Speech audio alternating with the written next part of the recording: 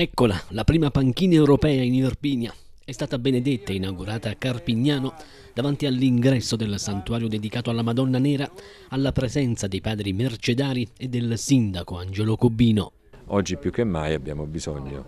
dei valori dell'Europa, che sono anche valori che aiutano a rafforzare la nostra identità nazionale, perché tante identità nazionali fanno una grande comunità europea e mondiale. Un'iniziativa che ha lo scopo di rinsaldare il legame tra l'Italia, in questo caso Grotta Minarda, e la comunità europea. Noi siamo cittadini grottesi ma anche cittadini europei e dobbiamo sentirci tale, soprattutto in una fase in cui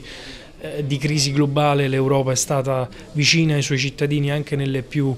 lontane periferie, si pensi a questa comunità rispetto ad altre città in cui è stata finanziata l'opera, penso a Milano, penso a Genova, una serie di città del nord Italia, tutti i capoluoghi di provincia e noi oggi siamo qui a Grotta Minarda, nel caso di specie a Carpignano, questo dimostra anche la nostra dire, capacità di fare